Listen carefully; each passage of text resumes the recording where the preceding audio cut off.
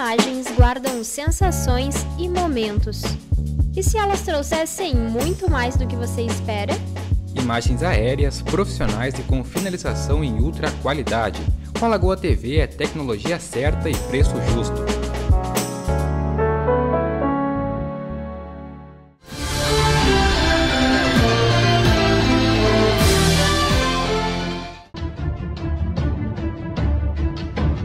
Anceli e Cícero são pais da Natália, que tem 11 meses.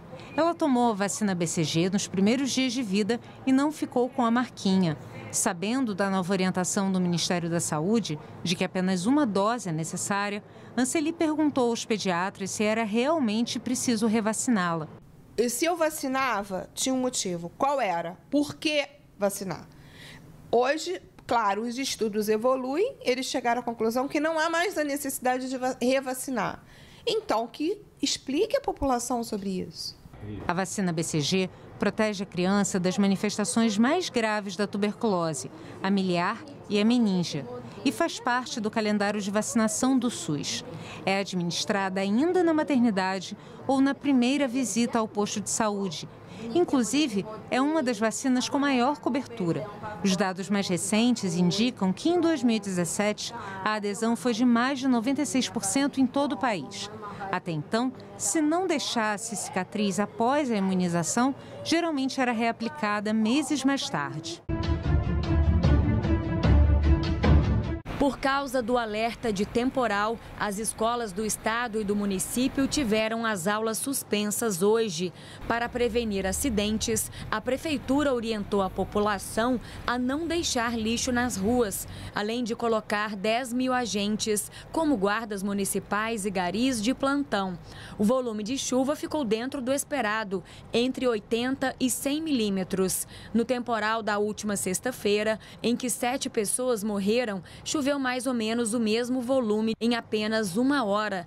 Mas se a semana passada registrou grande intensidade em áreas concentradas, dessa vez a água caiu de maneira espalhada. O Hospital Universitário Gafreguinle, na zona norte do Rio, ficou por quase 10 horas sem luz. A unidade, que é referência no tratamento de AIDS, funcionou apenas com geradores e precisou cancelar consultas e exames. A direção do hospital acusa a Light responsável pelo fornecimento de energia, de demora no atendimento.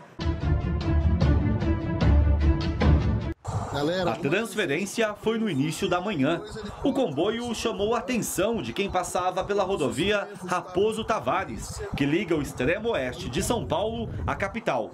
Tem dois helicópteros aqui sobrevoando. Rapaz!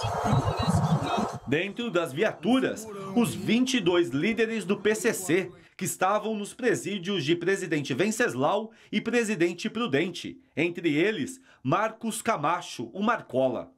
A transferência foi a pedido do Ministério Público Paulista. Desde o ano passado, o MP tentava remoção, depois que foi descoberto um plano de fuga e ameaça de morte contra integrantes do Ministério Público.